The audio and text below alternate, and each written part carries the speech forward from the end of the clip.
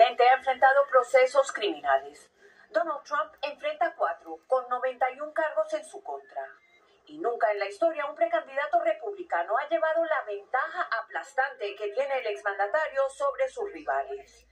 El apoyo a Donald Trump ha ido subiendo 8 puntos desde octubre en Iowa para sobrepasar el 50% de la intención de voto, logrando una distancia de 32 puntos sobre Ron DeSantis.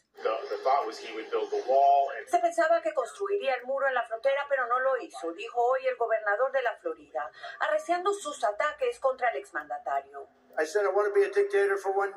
Quien repitió que sería dictador por un día para cerrar la frontera y extraer más petróleo. Aunque los comentarios han desatado indignación y críticas, las encuestas muestran que sus seguidores están entusiasmados. Él dice directamente, vamos a impedir que los hombres participen en, deportes de mujeres, vamos a asegurar la frontera para que no sigan entrando tanta gente, eh, eh, vamos a arreglar la economía, vamos a poner Estados Unidos primero. A nivel nacional, el exmandatario también está en la batalla. Esta encuesta en los estados clave de Georgia y Michigan lo muestran con una leve ventaja si se cuenta el margen de error sobre el presidente presidente Joe Biden en un potencial cara a cara nacional.